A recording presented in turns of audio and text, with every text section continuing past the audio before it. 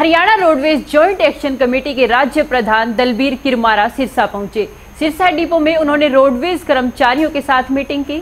Meeting में कर्मचारियों के साथ आगामी आंदोलन की रणनीति पर चर्चा की और वहीं मीटिंग के बाद मीडिया से बातचीत में उन्होंने कहा कि निजीकरण के खिलाफ प्रदेश भर में 16 और 17 अक्टूबर को रोडवेज़ का चक्का जाम किया जाएगा। और अगर सरकार ने प्रदेश में कहीं भी किलोमीटर की तर्ज पर निजी बसों को चलाने का प्रयास किया तो उसी वक्त रोडवेज़ का चक्का जाम किया जाएगा।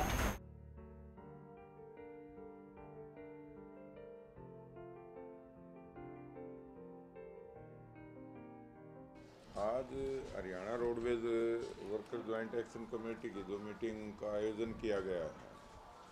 जो 5 सितंबर की हड़ताल रोडवेज़ के कर्मचारियों ने, जो सफल हड़ताल की है, उसकी समीक्षा के लिए और दूसरा, जो सरकार द्वारा हड़ताल को तोड़ने के लिए जो प्रयास किए गए, उसके प्रति कर्मचारियों में भारी रोष है और इसको चलते हुए रोडवेज़ में जितनी भी यूनियनें हैं, सभी की एक तालमेल कमेटी का गठन किया गया है।